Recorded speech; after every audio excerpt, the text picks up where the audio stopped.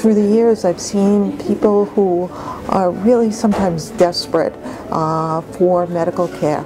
They are the working poor, and they need us. It boggles my mind sometimes when I see what their health problems are and what their ages are. The patients who come in here have all sorts of different disease processes going on cardiac, diabetic, wound care, respiratory issues, behavioral health issues. Where would they go?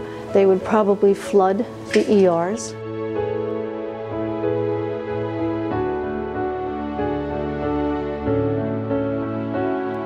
It's either food or medication.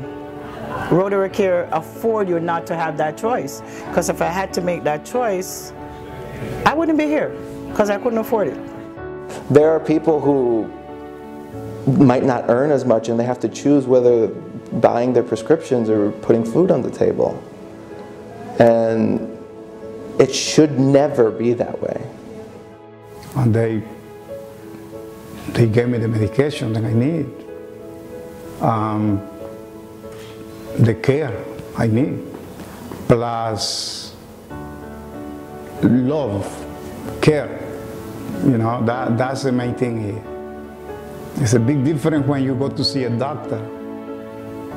He's in a rush, we take time to talk to them. We find out their histories, what's going on with them in their life, which is very different from going to a hospital setting. And then we try to address each issue that they bring up.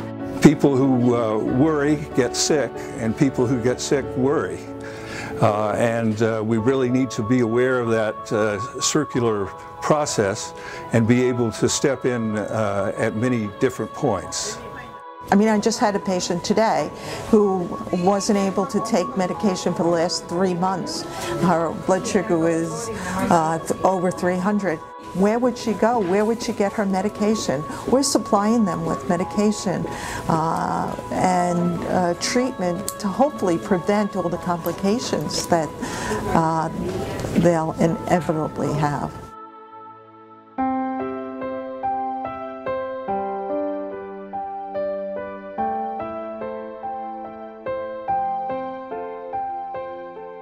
If we cannot give them the medical care that they need or the specialty that they need, we will find a place that does, that can give it to them.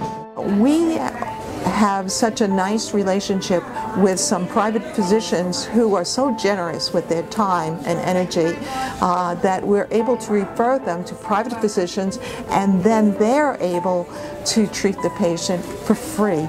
We have a lot of outside doctors also, ophthalmologists, we have foot doctors, um, we, we have orthopedists that volunteer and um, that give us of, of their time and we can send our patients, our patients there. Rotacare allows people to take care of their own health. It's preventative health care. It, it, it educates people. It, it gives people power to to get up and to do things not just for their health but for their well-being. It's just great to see how they get better. Without Rotacare, many of these patients that we see once a month, once every six weeks, what would they, what would they do? The women that we send for mammographies that then might turn into something more serious and we're able to catch it in the beginning. The pap smears that they're able to go to, the GYN. The effect we have in the community for the most needy section of the community, uh, it's hard to calculate.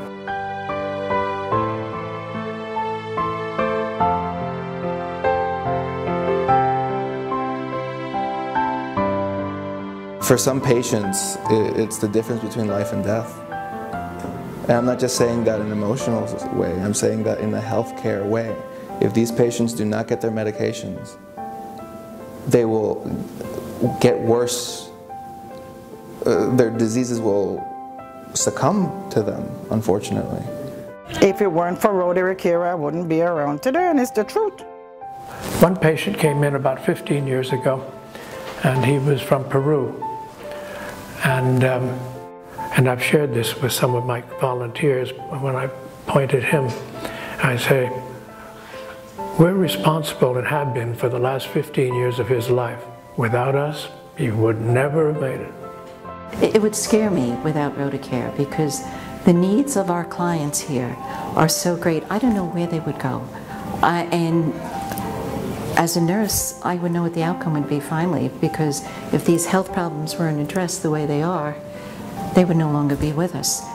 I love Rotacare as an institution of people who come together just to do good, to do well, to make lives better, regardless of what they're, where they're from and what they do. There, there's no judgment, there's no label. Th this is all about the healthcare. And there's very few places like that today.